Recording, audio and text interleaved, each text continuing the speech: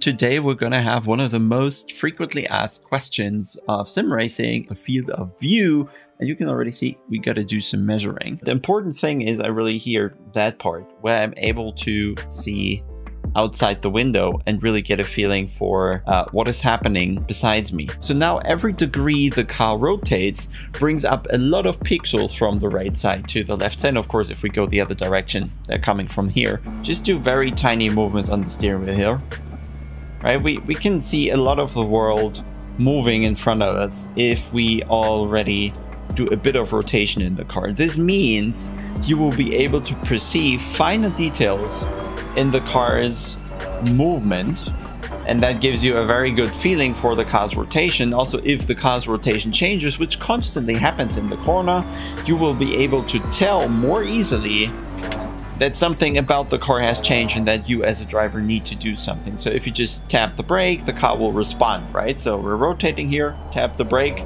rotates into the turn, right? And you can see those differences pretty good with a very low field of view.